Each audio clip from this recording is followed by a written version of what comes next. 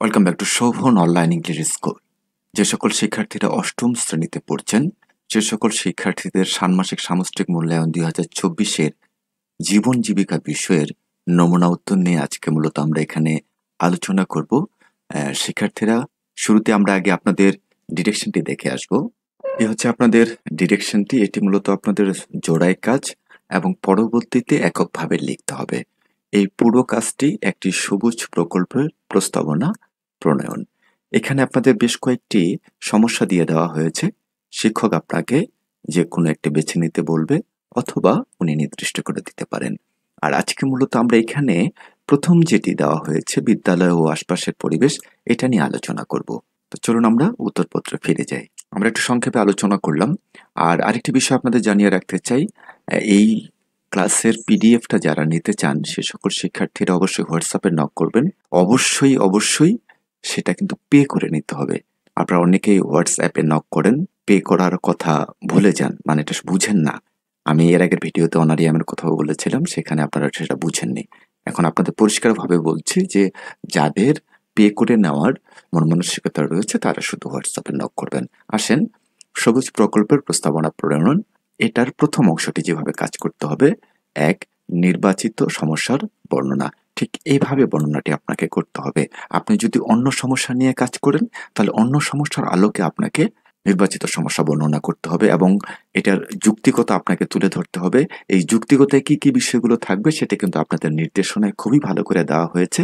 আমরা বিস্তারিত আলোচনা করছি না। আপনারা এসএস ব্যবহার করতে পারেন, কোনো সমস্যা নেই।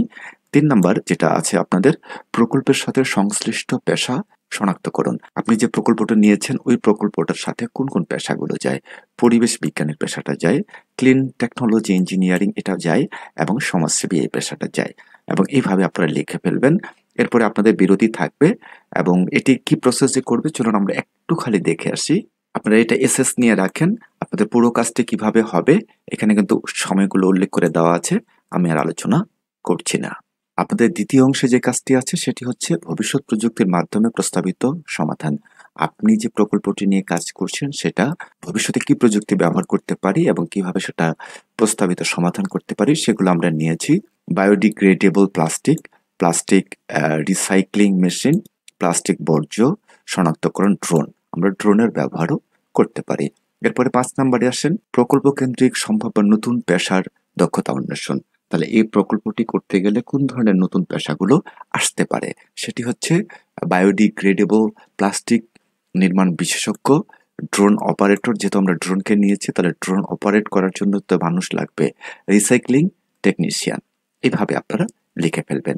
এরপরে আসেন পরিবেশের উপর প্রকল্পটির প্রভাব নির্ণয়। আপনাদের পয়েন্টগুলো দেওয়াই ছিল। ওখানে কি কি লিখতে হবে সে ব্র্যাকেটের মধ্যে, ডিরেকশনে সেটাই শুধু আমরা এখানে আলোকপাত করেছি। আপনি যদি অন্য কাজ পড়ে আপনার জন্য সেক্ষেত্রে কিন্তু অন্যটা অন্যভাবে করতে হবে। সাত নম্বরে আসেন, সমাজ বা মানব কল্যাণে প্রকল্পটির ভূমিকা উপস্থাপন। জাস্ট আমরা এভাবে আলোচনা করার চেষ্টা করেছি। এর পরবর্তীতে আপনাদের আরেকটি কাজ ছিল অনুষ্ঠান সূচি, প্রণয়ন, সবুজ প্রকল্প উপস্থাপনা উপস্থাপনের ক্ষেত্রে অনুষ্ঠান সূচি কীভাবে করবেন? আপনারা এভাবে করতে পারেন। নয়টা থেকে সাড়ে নয়টা সকল অংশগ্রহণকারীর আগমন ও নিবন্ধন। ঠিক এই প্রসেসে নয়টা তিরিশ থেকে নটা পঁয়তাল্লিশ উদ্বোধনী বক্তব্য, পঁয়তাল্লিশ থেকে দশটা পনেরো পর্যন্ত প্রথম প্রস্তাবনা, তারপর দ্বিতীয় প্রস্তাবনা, তৃতীয় প্রস্তাবনা, চতুর্থ এবং পঞ্চম প্রস্তাবনা সবগুলোই দিয়ে দিতে পারেন। এরপরে বিরতি দিতে পারেন সমাপনী বক্তব্য এবং পুরস্কার বিতরণ এবং সমাপনী অনুষ্ঠান। এটা হচ্ছে আমরা এখানে সামারি দিয়ে দিলাম।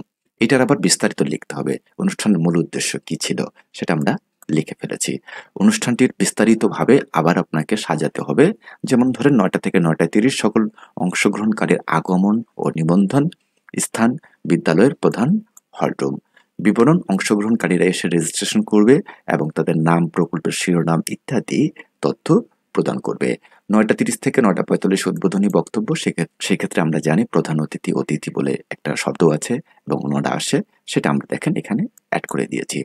মানেই হচ্ছে যে পুরো একটি অনুষ্ঠান কীভাবে কন্টিনিউ করতে হয় বা এটার একটা রোড ম্যাপ কীরকম হতে পারে, কি কি ইভেন্ট থাকতে পারে, সব জিনিসগুলোই। আবার পরিবেশ রিলেটেড আপনি জারিগান বা অন্য কোনো বিষয়েও এখানে প্রস্তাবনায় অংশগ্রহণ হিসাবে ঢোকাতে পারেন, এটা আপনার ঐচ্ছিক একটি বিষয়। এবং আপনার প্রেক্ষাপটেই কিন্তু আপনাকে জিনিসটি নিয়ে আলোচনা করতে হবে এবং লিখতে হবে। এবং সর্বশেষে আপনি প্রকল্পটির একটা সামারি দিয়ে দিতে পারেন। এ ছিল আমাদের আজকের আলোচনাটা। খুব সংক্ষেপে আলোচনা করেছি, আমি বিস্তারিত আলোচনা করিনি। আবারও আপনাদের বলি, আপনাদের যাদের এ ধরনের নমুনা উত্তরের পিডিএফগুলোর প্রয়োজন আপনারা অবশ্যই হোয়াটসঅ্যাপ নাম্বার দেওয়া আছে ডেসক্রিপশনে সেখান থেকে নক করতে পারেন হোয়াটসঅ্যাপে এবং তারাই নক করবেন যারা শুধু পে করে নেওয়ার মন মানসিকতা যাদের রয়েছে তারা বাকিটা কিন্তু নক করার প্রয়োজন নেই আজকের জন্য এতটুকুই পরবর্তী কোন ক্লাসগুলো আগে পেতে চান অবশ্যই কমেন্ট সেকশনে জানিয়ে দিবেন thank you for watching this video If the video is helpful for you, you must subscribe Shobhan Online English School and press the bell icon to get more updates. Allah.